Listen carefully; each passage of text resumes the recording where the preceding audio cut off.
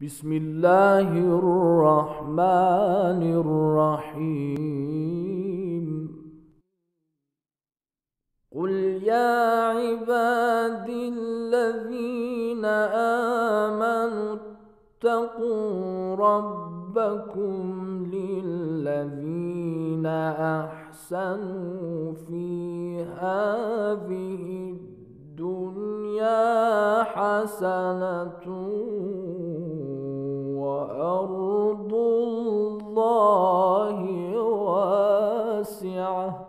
وأرض الله واسعة إنما يوفى الصابرون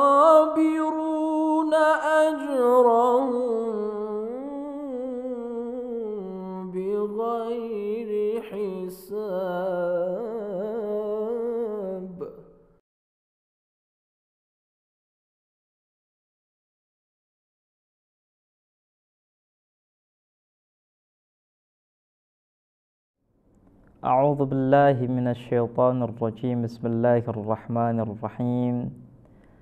الحمد لله الذي جعل الحمد مفتاحا لذكره وخلق الأشياء ناطقة بحمده وشكره والصلاة والسلام على حبيبنا وحبيب إله العالمين أبي القاسم مصطفى محمد.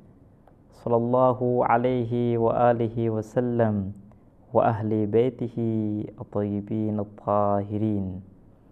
Aqulu lakum assalamu alaikum warahmatullahi wabarakatuh.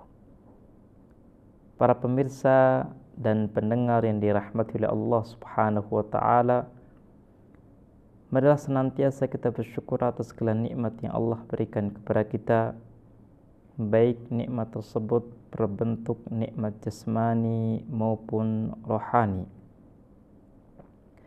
Bersyukur kepada Allah artinya kita mengakui bahwa Allah yang memberikan rahmat kepada kita. Bersyukur kepada Allah artinya kita menggunakan nikmat yang kita dapatkan di jalan yang benar. Tidak lupa pula kita ucapkan salam cinta, salam rindu kepada junjungan kita Nabi besar Muhammad sallallahu alaihi wa alihi wasallam. Kita katakan kepada beliau assalamu alayka ya Rasulullah. Assalamu alayka ya Habibullah. Pada kesempatan yang baik ini insyaallah kita akan meneruskan pembahasan kita tentang akhlak di mana pembahasan akhlak merupakan pembahasan yang sangat luas, banyak tema dan persoalan yang bisa kita bahas di dalamnya. Akhlak merupakan ilmu yang langsung bersentuhan dengan kehidupan kita. Orang yang belajar akhlak dan mengamalkannya, maka ia akan langsung merasakan betapa pentingnya ilmu akhlak. Kalau seandainya kita ingin memiliki hubungan yang harmonis dengan ayah dan ibu kita, family kita, teman-teman kita, tetangga kita, maka kita wajib belajar akhlak dan kita mengamalkannya. Pada kesempatan yang baik ini, kita ingin membahas tentang bagaimana kita menjadi pendengar yang baik. Islam adalah agama yang sempurna dan aturannya pun sempurna. Bukan hanya dalam satu persoalan, dua persoalan Islam memiliki aturan, tapi Islam memiliki aturan di semua persoalan yang dimiliki oleh manusia, di semua aspek. Salah satu persoalan yang kita hadapi sehari-hari adalah mendengarkan sesuatu. Islam mengajarkan kepada kita tidak semua sesuatu harus kita dengarkan.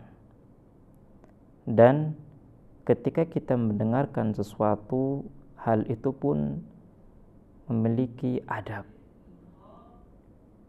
Ketika kita mendengarkan sesuatu, hal itu pun memiliki aturan-aturan tersendiri. Makanya pada kesempatan yang baik ini insya Allah kita akan membahas bersama tentang aturan Islam dalam mendengarkan sesuatu. Ada satu doa yang sangat indah. Doanya berbunyi seperti ini. Allahumma matti'na bi asma'ina wa absarina wa quwwatina. Wahai Tuhanku, berilah taufik kepadaku supaya aku bisa memanfaatkan dengan baik pendengaranku, penglihatanku dan kekuatanku. Memanfaatkan pendengaran artinya kita mendengarkan sesuatu dengan adabnya. Jangan sampai kita mendengarkan apa yang ada, tapi kita harus menyaring apakah sesuatu itu bermanfaat bagi kita atau tidak. Kalau kita membuka buku-buku akhlak, kita diajarkan oleh Rasul untuk menjadi pendengar yang baik. Ketika kita berbicara tentang proses mendengarkan, atau perbuatan mendengar, maka lawan kita akan bermacam-macam. Terkadang kita berbicara dengan teman kita, terkadang kita berbicara dengan guru kita, terkadang kita berbicara dengan orang tua kita, dan berbagai lawan bicara yang kita hadapi.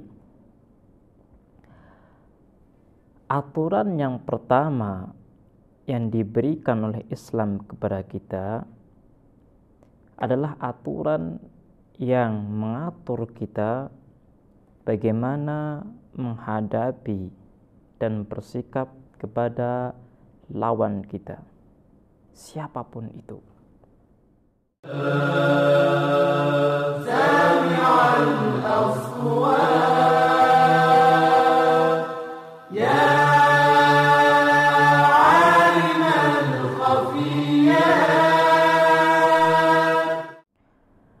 Ada satu perkataan indah dari Rasul di mana beliau mengatakan man takallama ansitu lahu hatta yafraq.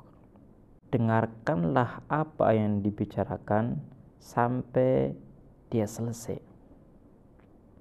Artinya Rasul mengajarkan kepada kita supaya tidak memotong pembicaraan orang lain Ketika seseorang berbicara kepada kita, artinya dia ingin menyampaikan sesuatu yang ia miliki kepada kita. Terkhusus ketika ia memberikan kabar kepada kita. Ketika ia menjelaskan tentang satu persoalan kepada kita. Kadang ada satu persoalan penting yang harus disampaikan oleh dirinya kepada kita di saat itu kita harus menghormati dia dan kita harus mendengarkan perkataannya secara sempurna. Jangan sampai ketika dia berbicara dan dia belum selesai menyampaikan apa yang dimiliki olehnya, kita sudah potong pembicaraannya. Ini namanya tidak sopan. Hal ini banyak kita dapatkan dalam kehidupan kita. Terkadang teman kita sedang berbicara, ada orang lain yang memotong pembicaraannya. Ini tidak boleh dalam Islam. Ketika kita diajak bicara oleh orang lain, kita harus hormati dirinya. Islam tidak mengizinkan kepada kita untuk melecehkan siapa pun. Ketika kita memotong pembicaraan orang lain, artinya kita tidak menghormati Artinya kita tidak menghargai lawan pembicaraan kita. Ketika kita memotong pembicaraan orang, maka artinya kita kurang menghargai orang tersebut dan ini tidak boleh dilakukan menurut Islam. Rasul mengajarkan kepada kita untuk membangun hubungan yang indah, hubungan yang harmonis. Dan salah satu metode membangun hubungan yang harmonis adalah dengan kita menghargai orang lain ketika berbicara. Kemudian ada salah satu sahabat Al-Imam Ridha alaihi salam di mana beliau menceritakan bagaimana sikap Al-Imam Ridha alaihi salam dengan orang lain. Kata Ibrahim bin Abbas, salah satu sahabat beliau, beliau mengatakan, "Wa ma ra'aitu qata'a ala ahadin kalama hatta yafragha minhu." Ibrahim ini dia tidak pernah melihat Al-Imam Ridha alaihi salam memotong pembicaraan orang lain sebelum dia selesai. Artinya Imam Ridha alaihi salam mendengarkan apa yang dibicarakan oleh orang lain, kemudian setelah selesai baru Imam Ridha berbicara. Ini namanya menghormati lawan bicara. Kita bisa dapatkan satu pelakuan yang tidak sopan ketika dalam forum debat Terkadang seseorang sedang menjelaskan suatu materi, sedang berargumen, orang lain dia memotong apa yang ia bicarakan. Tidak memberikan waktu kepadanya untuk berbicara, padahal dia berhak untuk berbicara. Ini merupakan suatu fenomena yang ada dalam masyarakat kita. Kalau seandainya kita ingin mendirikan suatu masyarakat yang islami, kita juga harus mengamalkan aturan-aturan Islam. Salah satunya adalah menghormati orang lain ketika berbicara, terkhusus ketika dalam forum perdebatan, forum diskusi ilmiah. Ini adalah satu hal yang harus kita perhatikan ketika kita berbicara dengan orang lain. Jadilah pendengar yang baik, jadilah pendengar yang menghormati lawan bicaranya. Ini merupakan aturan pertama yang diberikan oleh Islam kepada kita terkait dengan bagaimana kita bersikap dengan orang yang sedang berbicara dengan kita. Kemudian yang kedua, Islam menjelaskan kepada kita tentang aturan bagaimana kita bersikap di depan guru kita. Al-Imam Sajjad alaihi salam mengatakan wa haqqus sa'isika bil ilmi at-ta'zimu lah wa tawqiru li majlisihi wa husnul istima'i ilaih. Hak gurumu adalah kamu harus menghormatinya, kamu harus menghargai majlisnya dan kamu harus mendengarkannya dengan baik. Seorang murid adalah seseorang yang belajar ilmu kepada guru. Artinya dia harus taat kepada gurunya. Dia harus menghormati gurunya. Tidak boleh dia mencela gurunya. Kalau seandainya guru melakukan kesalahan, maka ia bisa menegur dengan jalan yang baik. Ia bisa menegur dengan cara yang baik. Tidak boleh menempuh jalan yang tidak baik yang merugikan gurunya sendiri.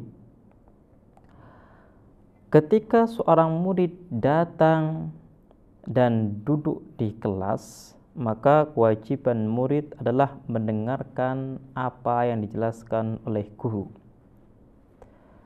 Murid tidak boleh memotong penjelasan guru.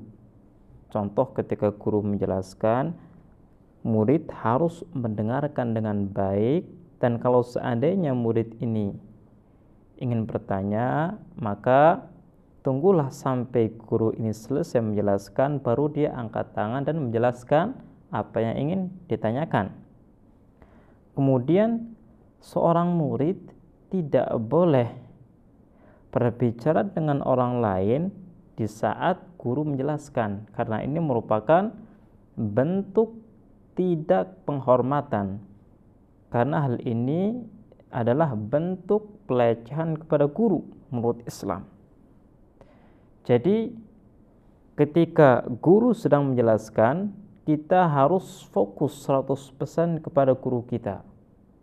Ketika seperti ini, maka kita telah memenuhi hak guru kita. Kalau proses belajar di masyarakat kita seperti ini, maka saya yakin murid-murid yang ada akan menjadi murid yang pintar. Murid-murid yang ada akan menjadi murid yang beradab yang bermoral. Kenapa? Karena murid seperti ini, maka dia faham kedudukannya itu di mana dan kedudukan guru di mana. Ini adalah satu moral yang sangat luar biasa Kalau seandainya kita bisa menjaganya dan bisa mempraktikannya dalam kehidupan kita. Baiklah pemirsa, Insya Allah kita akan melanjutkan bahasan kita tentang bagaimana menjadi pendengar yang baik di kesempatan yang lain. Kita akhiri wassalamualaikum warahmatullahi wabarakatuh. اللهم زينا بزينة الإيمان واجعلنا هداة مهديين. اللهم اهدنا فيمن هديت. اللهم إني أسألك كلمة الرشاد والثبات في الأمر والرشد. وأسألك شكر نعمتك وحسن عافيتك وأداء حقك. برحمتك يا أرحم الراحمين.